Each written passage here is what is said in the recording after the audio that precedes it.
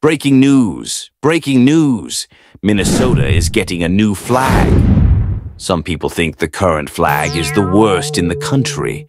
Minnesota asked people to send in new designs and got thousands of ideas. They picked six, then narrowed it down to three. By the end of the year, one of these three will be the new flag. Which one will it be? Many Minnesotans and YouTubers have opinions, and so do I. This is exciting news. Now, let's look at the top three designs. First up, Star Rise. Minnesota is called the North Star State because it's the northernmost state. Star Rise has an eight-pointed North Star in the center.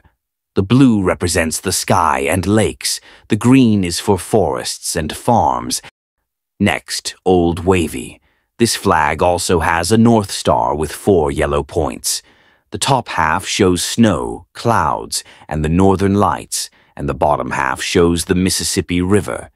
It might also have a loon, which is Minnesota's state bird. Last, Polaris Tricolor. This design has the shape of Minnesota with an eight-pointed star in the center. The three colors represent lakes, land, and snow. If you haven't ranked them yet, pause here and think about it.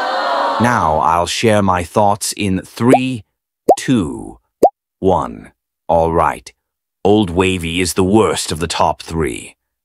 The design of snow, clouds, and northern lights doesn't look right. The reflection looks like a river, but it also looks like a duck. This shows the danger in redesigning flags. The goal of a flag is to become a symbol, not to use a bunch of symbols. All those things belong on a seal, not a flag. Minnesota also redesigned its seal, which looks great. Before I say more, this video had to be made quickly, but I might prefer Minnesota's original flag over Old Wavy. I know it's bad, but at least it stands out.